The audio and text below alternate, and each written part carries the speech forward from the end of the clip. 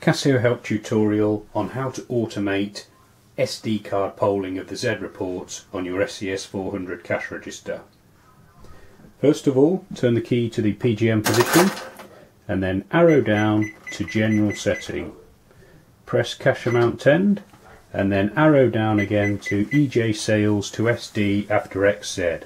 When highlighted, press Cash Amount Tend. The default setting is No. We're going to arrow up to Yes and press cash amount tend. Then press subtotal and when you're back at the setting menu you can safely turn the key back to the register position. The feature is now set up. You must make sure that the SD card is loaded for it to work correctly. So for example if you're in the Z position and you ran your daily Z report without the card in you'd get the insert SD error message.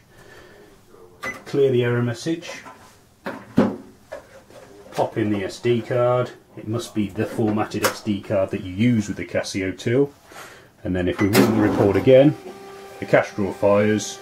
The report will print out the till as normal so that you can reconcile the takings straight away.